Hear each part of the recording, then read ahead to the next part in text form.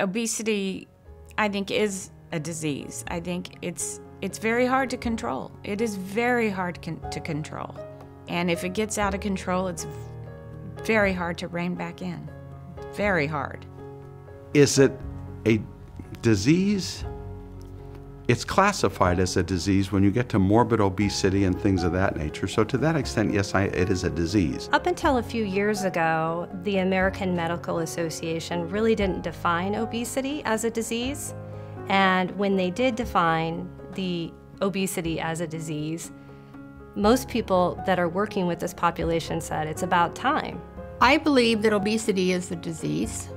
It's like diabetes, it's like thyroid problems, it's like cancer. Those people can go in and normally have their diabetes put under control. They have their thyroid maintained. Yeah, obesity is a disease. It's a disease that actually is probably number one or number two as far as doing really bad things to people in the United States.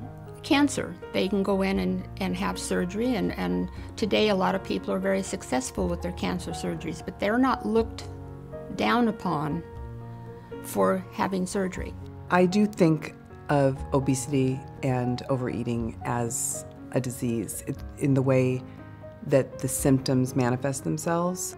Uh, I believe that it is a disease similar to depression, anxiety, OCD. It has significant medical effects. I know friends who are, you know, boozing it up, eating crazy, they don't even think about it, and it's weight is not an issue. So I have wiring that makes it hard for me to lose weight.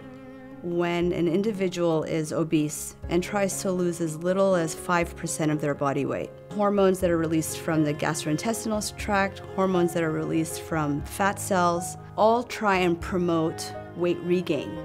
That is a physiology that has gone wrong and again, by definition, is a disease. I understand why people disagree, and sometimes I struggle with those labels as well. It's a disease that needs management. It's a disease that can go into remission.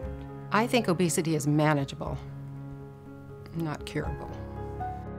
Not all diseases are curable, right? So there are treatments out there for obesity of varying efficacy. Obesity is a difficult disease to treat or to cure. It is chronic. It is a chronic disease in terms of being forever needing to maintain it. I don't know if I will feel like I'm done because I feel like with obesity, it's something that doesn't leave you.